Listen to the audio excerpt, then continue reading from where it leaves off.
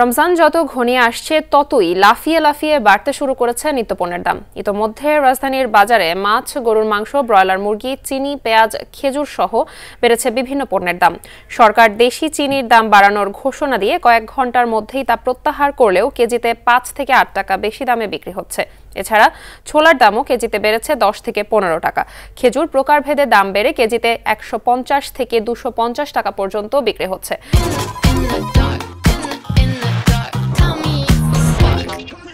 বাজারে সিন্ডিকেট ও অবৈধ মজুতদারদের বিরুদ্ধে কঠোর ব্যবস্থা নেয়ার দাবি জানিয়েছেন ভোক্তারা।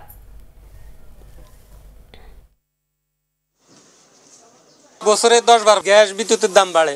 এগুলার সাথে সাথে অন্য অন্য আইটেমগুলা বাড়ার ই করে দেয় চান্স দিয়ে দেয়। দুই দিন গেছি মার্কেটে দুই দিন যে দেখি দুইশো টাকা একশো টাকা কাটন আরও বাড়তে।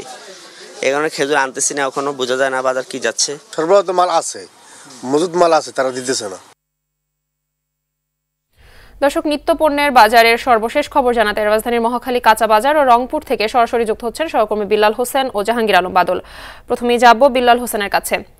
বিল্লাল রমজান সামনে রেখে নিত্য পণ্যের দাম সাধারণ ক্রেতাদের ক্রয় ক্ষমতার মধ্যে আছে কিনা, কি বলছেন ক্রেতারা, জানাবেন। তাদের প্রতিক্রিয়া কি, কেমন দেখতে পাচ্ছেন?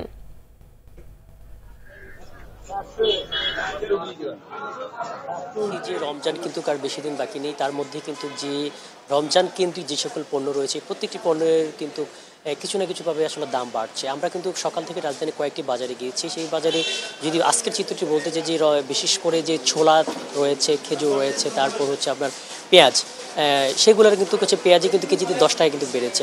ছোলাতে কেজিতে কিন্তু বেড়েছে দশ থেকে প্রায় পঁচিশ টাকা পর্যন্ত প্রকার প্রকারভেদে আর পাশাপাশি আপনাকে বলে রাখি যে খেজুরি যেটি বলে যে দাম যে কারণ এই আমাদেরকে ক্রেতারা জানিয়েছেন যে যেখান থেকে মূলত খেজুর নিয়ে আসা হয় পাইকারি দর, তারা কিন্তু এগুলো মজুত করে রেখেছেন। মজুত করে কৃত্রিম একটি সংকট তৈরি কিন্তু দামটা বেড়েছেন, কারণ রমজানে প্রচুর পরিমাণ খেজুরের প্রয়োজন হয়। পাশাপাশি অন্যান্য যে সকল পণ্য আছে, প্রত্যেকটি পণ্যেরই কিন্তু কিছু না কিছু দাম কিন্তু বাড়ছে। আর আমরা কিন্তু এখানে ব্যবসায়ীদের সাথে কথা বলি, তারা যেটি বলছেন যে রমজানে যখন আসলে ভোক্তাদের কিন্তু চাহিদাটা বেড়ে যায় সেই সুযোগটি কিন্তু কাজে লাগায় যে সুবিধাভোগী কিছু ব্যবসায়ী, তারা কিন্তু সাধারণ পণ্যের যে একটি কৃত্রিম সংকট তৈরি কিন্তু তারা সেটি দাম কিন্তু বাড়িয়ে দেন। তারা যেটি দাবি করছেন যে বাণিজ্য মন্ত্রণালয় যদি যথাযথ যেখান থেকে উৎপাদন হয়, উৎপাদনের পাশাপাশি যেখানে আরতদার রয়েছে, সেখানে যদি যথাযথ মনিটরিং তদারকি বাড়িয়ে দেন, তাহলে কিন্তু আসলে পণ্যটা কিছুটা ক্রয় ক্ষমতার বাইরে রয়েছে। পাশাপাশি ভোক্তারা যেটি বলছেন, তারা বলছেন যে খুচরা যে ব্যবসায়ীরা রয়েছেন, এখানে যদি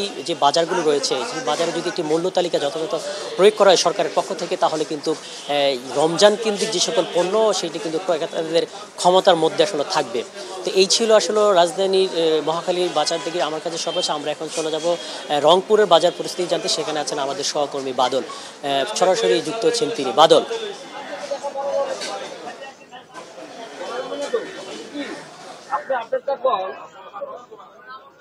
হ্যাঁ। আমরা বুঝলি বাজার থেকে আমি এখানে বেশি রিক্সা ভাড়া আছে খেলা ভাড়া আছে লেবার ভাড়া আছে। এই জন্য আমাদের দামটা বেশি। তুমি মাইন্ড করে বলতে পারে না বলুন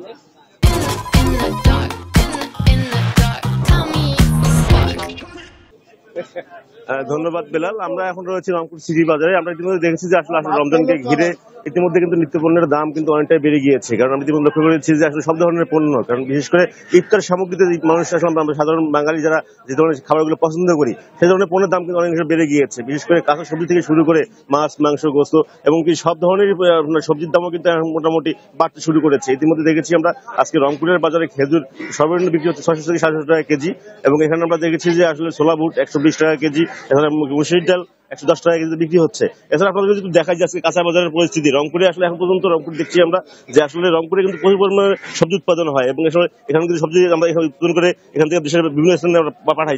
তারপরেও কিন্তু আসলে নিত্য পণ্যের দাম পাশাপাশি কিন্তু সবজির দাম বেড়ে গিয়েছে এবং বিশেষ করে ডিমের দাম বেড়ে গিয়েছে। পাশাপাশি সাধারণ মানুষরা বলছেন যে, আপু, আপনি তো বাজার করতে আসছেন নাকি? বাজারের দাম কেমন দেখছেন?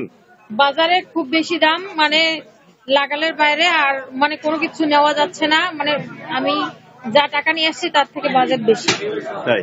ধন্যবাদ শুনছিলেন যে আসলে কি তারা বলছেন যে আসলে দাদারা বাজার করার যে খরচ যে আসলে টার্গেট নিয়ে বাজারে এসেছে তারা আসলে অধিক দাম তারা বিক্রি করছেন।